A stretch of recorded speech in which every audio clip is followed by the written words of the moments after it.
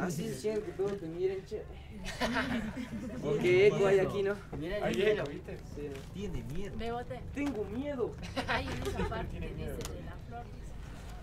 Hace miles de años, en un lugar lejano, donde solo existía la paz y el dolor no se conocía, había un peque- una pequeña colonia con personas humildes y de corazón puro. Hubo un día en que dos jóvenes se conocieron y se generó una gran amistad.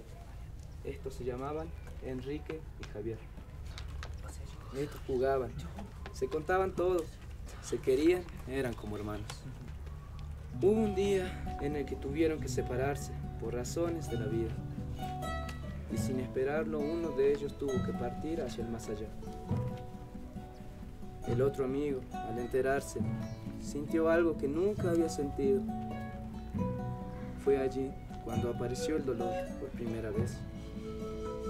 Este fue tanto que al caer la primera lágrima al suelo, dio forma y vida a una sombra. Desde ese momento, esta la acompañó hasta el fin de sus días. Fue oscuridad, pero aún así era su fiel compañero.